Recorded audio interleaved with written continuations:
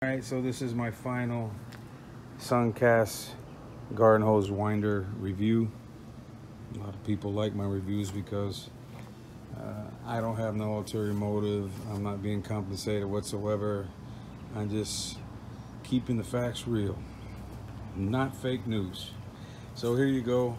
This is the Suncast garden hose winder.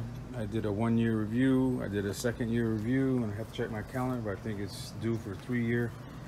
And I ran into a situation a couple weeks back where the handle broke. That handle right there.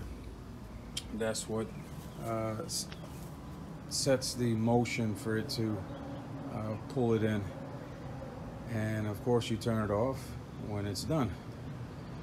But I gotta tell you, the customer service at Suncast is fantastic. I called, they said, hey, give me your address, I'll send you another one free. And they did, they sent me another one for free. Uh, I put it on, but she didn't last. So I think uh, she had her, she's had her, her days, and had some good days with her. But I'm gonna have to put her to rest.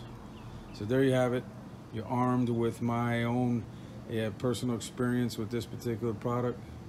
And uh, if you're in the market for one, I don't think there's that much of an option. But if you're market for one, you can pretty much uh, figure out the lifespan of one, unless uh, you're luckier than me.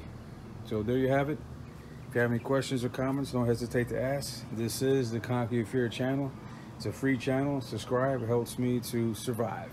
All right. Be good. Take care.